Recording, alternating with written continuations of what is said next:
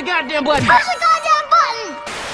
Everybody subscribe to the channel if you haven't already. Go ahead and click that red button right there and also click that bell for notifications and select all. All right. Yo, yo, yo, yo, yo, yo, yo, yo, yo, yo, yo, yo. Oh, it's Games and Graphics. We are back in the building with another GTA 5 mod tutorial for you. And today we're going to be installing ScriptHook V, the latest version of ScriptHook V for GTA 5 Enhanced. All right. This one has been updated to work with Enhanced. So once you get down to this page, first of all, let's give a huge shout out to Alexander Blade, which is the creator of ScriptHook V.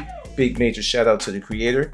When you get down to this page, all you want to do is select the download button right here. That's it. Just that simple. Select the download key. All right. Once you have your ScriptHook V downloaded, it should look something like this on my left hand side. I have one download, which is ScriptHook V. And on my right hand side, I have my GTA 5 Enhanced directory opened up and ready to go. Let's go ahead and open up our ScriptHook V folder. Inside this folder, you'll have another folder that says bin. Open up that folder and inside the bin folder, we're gonna highlight everything, okay? It also comes with a trainer called Native Trainer. If you want that, go ahead and leave it selected. If you do not want it, then just deselect it, all right? And we're gonna take the other files drag and drop them right over here to our GTA 5 enhanced directory.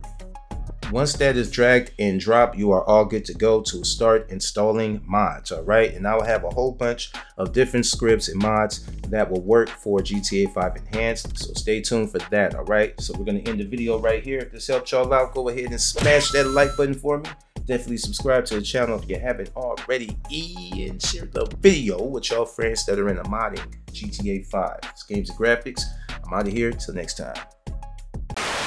I ain't scared of you motherfuckers.